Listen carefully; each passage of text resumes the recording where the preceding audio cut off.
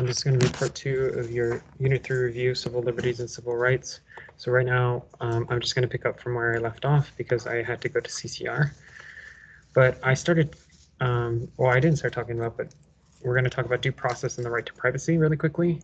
And this is like a an image that is relevant for the Griswold versus Connecticut decision where the uh, Justice Douglas um, talks about a penumbra of rights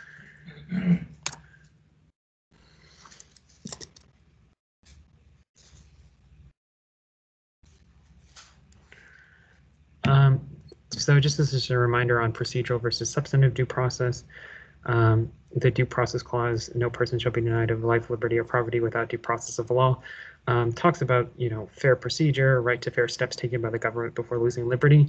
Uh, but then it also um, has been used um, uh, or substantive due process, which is this idea of fair and clear laws and fundamental rights, has been used by a mechanism to um, um, incorporate um, some of the rights enumerated in the Bill of Rights and some of the rights um, inferred or not enumerated in the Bill of Rights, but but seen as fundamental rights um, to apply to the states as well. So in Griswold versus Connecticut, you can see the Supreme Court ruling, clauses of the Constitution, Amendments 1, 3, 4, and 9 um, constitute a zone of privacy. We had talked about this idea of a penumbra. So um, basically Justice Griswold, or I'm sorry, not Justice Griswold, Justice Douglas in the Griswold versus Connecticut decision um, comes up with this idea that the First Amendment um, protection of free speech, the Fourth Amendment protection against unreasonable search and seizure, and the Ninth Amendment, uh, which states explicitly, and I'll show you right here,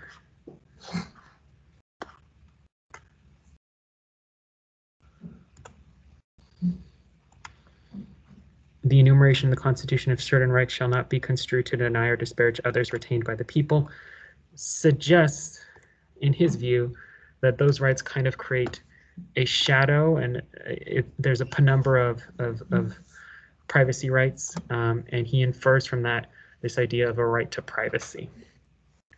Um, also, the due process clause is relevant because this is a case involving a Connecticut law that bans uh, contraception and two people from Planned Parenthood convicted for giving advice to a married couple about means of preventing con conception. Um, and so um, essentially the um, right to privacy that um, the Griswold decision infers from the Constitution um, um, becomes instrumental in deeming that this Connecticut law banning contraception is unlawful. The holding is Connecticut law violates the due process clause of the 14th Amendment and zone of privacy established by the First, Third, Fourth, and Ninth Amendments. This case was the precedent for the Roe v. Wade decision that made abortions legal in the United States. We talked a lot about right to privacy in the Intelligence Squared debate you saw about the NSA. There was a lot of talk about this right to privacy as well.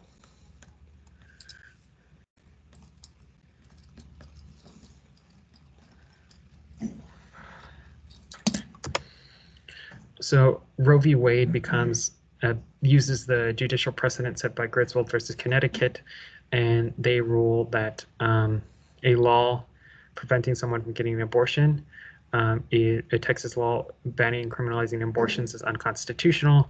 Um, the holding does put some limits on the ability of women to get an abortion in uh, based on different trimesters.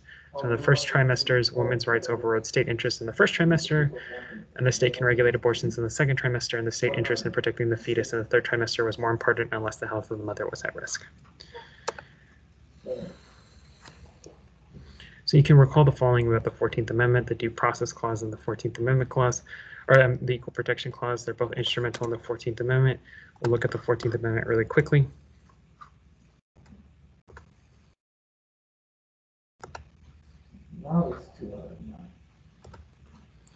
So right here we can see no state shall make or enforce any law which shall abridge the privileges or immunities of the citizens of the United States, nor shall any state deprive any person of life, liberty, or property without due process of law.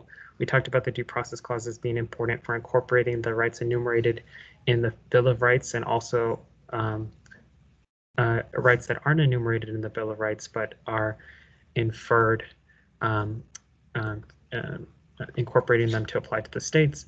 And then now we're going to talk about the Equal Protection Clause, nor to deny any person within its jurisdiction the equal protection of the laws. The Equal Protection Clause enables the courts to ensure citizens classified in a suspect manner by states have equal protection of the laws.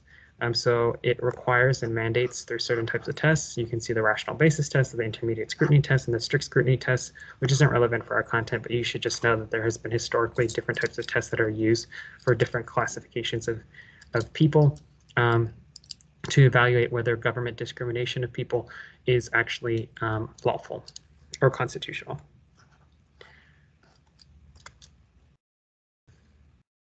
Here's the Warren Court, which is a very transformative court um, that really kind of expands civil liberties and civil rights. You can see the um, Warren Court kind of helped decide all these key cases in Griswold versus Connecticut. Uh, Loving versus Virginia determines that states cannot pass anti uh, mis uh.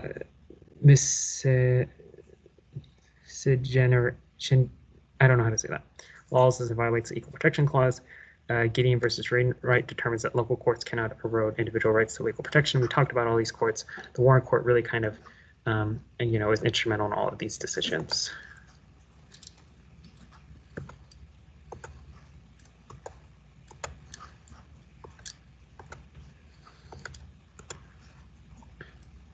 So the Equal Protection Clause, we're not going to go into details about the civil rights and civil liberties. So at this point in the video, you should just go ahead and consult your essay that you wrote about civil, I'm sorry, we're not going to go into detail about the civil rights movement, but you should just consult your essay about the civil rights movement. But I just wanted to bring up our attention to one Supreme Court case, um, Brown versus Board of Education, which overturns um, judicial precedent um, set in Plessy versus Ferguson, and which says that separate but equal doctrine that um, that um, the Supreme Court ruled was not violative of the Equal Protection Clause of the United States Constitution in Plessy versus Ferguson was in fact violative of the Equal Protection Clause in Plessy versus Ferguson um, because equal, separate but equal is inherently unequal. Um, the Justice Warren is noted for um, citing a lot of social scientists scientific evidence and considering the psychology segregation has on um, blacks and whites and claiming that it gives whites a sense of uh, superiority. Um, so Brown versus Board of Education overturns Plessy versus Ferguson and racial segregation. The Southern Manifesto um, is kind of like white backlash to the Brown versus Board of Education decision. We talked about Southern resistance and white resistance to the Brown v. Board of Education decision at length. We also talked about letter from a Birmingham jail. I'm just going to skip through this really fast, but go to the civil rights um, essay video where you see me write the civil rights essay um, to get this um, detail, detailed analysis of this types of things. Um, but Martin Luther King in Letter from a Birmingham Jail, um, he talks about um, natural law and and and he kind of is responding to a bunch of white clergymen that are upset uh, that claim that he's instigating in Birmingham, Alabama. Um, and Dr. Martin Luther King espouses this idea behind why he thinks it's okay for him to obey um, laws. I mean, he was in prison at the time for um, protests or leading a demonstration without a permit. Um, and um, uh, he, he articulates this idea rooted in the natural law tradition that there are just laws and there are unjust laws. And in his view, just laws uplift human personality, unjust laws don't uplift human personality. Notably, Martin Luther King says that the Brown v. Board of Education decision is an example of just law, and he is um, lamenting the failure of, of um, the South to live up to the law as articulated by the Brown versus Board of Education decision, um, but nonetheless, uh, Martin Luther King espouses this idea of uh, of naturalism, of, of, or has this naturalist approach to law, where he claims that you have a moral duty to disobey unjust laws um, and a moral duty to obey just laws. And we talked about ballot versus the bullet, the equal protection clause of the 14th Amendment has become instrumental. Go ahead and pause the video as you see fit. We talked about major acts of Congress, the Civil Rights Act of 1964. I'll include a video um, from Harvard Law School um, talking about the um, legacy of the Civil Rights Act, which does a lot of things, like it bans um, racial segregation in um, uh, public accommodations, so like in hotels, um, for instance. It does, you know, it provides funding, so it gives some teeth. There's some a little bit much more enforcement power to uh, that is given to the executive. remember how we talked about the lack of enforcement that um, the Supreme Court has and, and how historically some decisions by the Supreme Court have gone ignored, um, although that would that would definitely be seen as a uh, unacceptable in today's society, it, it, or at least I, I, think it would. I don't know. Um, but we talked about some of the provisions of the Civil Rights Act, um, so you can see them here. Um, they also allocate additional funding for um, the executive branch to ensure that people um, uh, that schools desegregate. It also allows the federal government to withhold funding to uh, institutions that engage in racial discrimination. So it's huge expansion of, expansion of federal government power in ensuring civil rights.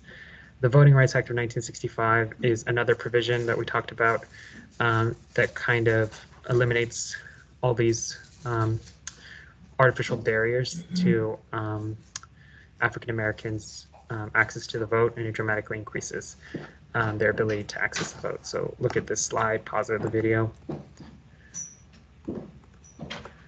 Went through mass incarceration. We talked about mass incarceration at length. And then this is just like you writing your essay. This is just the last bit that we didn't get to talk about a lot, but it was in your reading. Um, so we had I had posted something on Instagram about the 19th Amendment uh, there's an interesting Vox article that I'll include in the description of this YouTube video that talks about the 19th Amendment, and um, it has kind of like a controversial, well, not a controversial take. The 19th Amendment didn't give women the right to vote. Um, obviously, the language of the 19th Amendment, um, the right of the citizens of the United States to vote shall not be denied or abridged by the United States over any state on account of sex. Um, it's it's commonly understood to give a woman the right to vote, but then in the Vox article, it chronicles uh, persistent efforts after the passage of the 19th Amendment to deny um, African women uh, the ability to cast their ballots. The Equal Rights Amendment uh, was proposed. There was a movement to include it in the uh, Constitution. It was rejected. Um, there's been kind of like a revitalization of the Equal Rights Amendment, and I'm going to include an article about that in the description.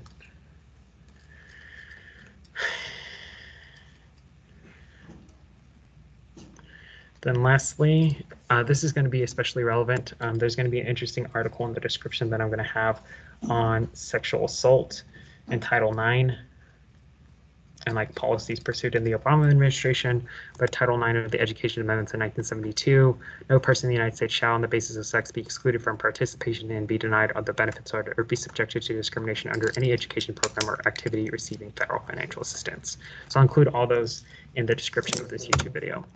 Now I wanted to switch onto a different topic and think more abstractly about why judicial opinions matter. We had talked at length about stare decisis, this principle that kind of mm-hmm. uh, of let the decision stand that is supposed to uh, provide stability in um, lawmaking. In our system, in our common law system, the Supreme Court, um, their decisions are not only binding on the parties of the case, they're binding on everyone. Um, so a Supreme Court decision becomes a law of the land. So, for example, the Obergefell decision, which um, said that Obergefell was entitled to some same-sex marriage rights, um, not only applied to the to Obergefell, um, a plaintiff, but applied to the law of the land, right? So it effectively uh, made unconstitutional any prohibitions on same-sex marriage. So you read The Roundhouse, which is an interesting piece of literature in AP literature um, which was very interesting. And in the Roundhouse, it was super, super fascinating to read the Roundhouse along with you guys.